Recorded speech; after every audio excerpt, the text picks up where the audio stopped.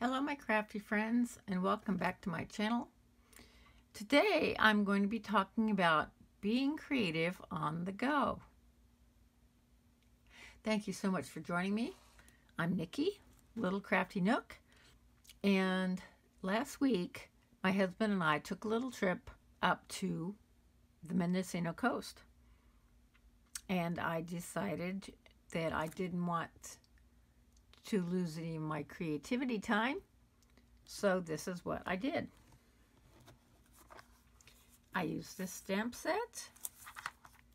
It's from Elizabeth Craft Designs. Kitties.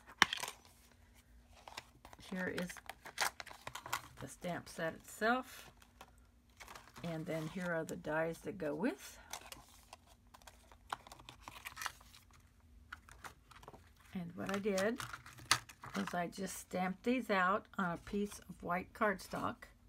I used my VersaFine ink and my alcohol markers.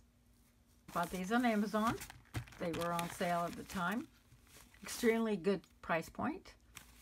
And the only one I had dry out was black. So I did uh, replace that with my Stampin' Write black marker.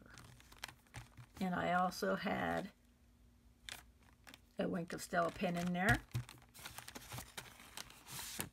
And I did make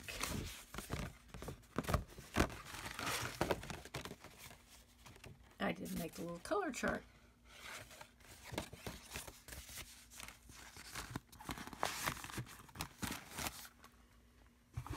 So let me go ahead and show you a few pictures from our trip and what I got done.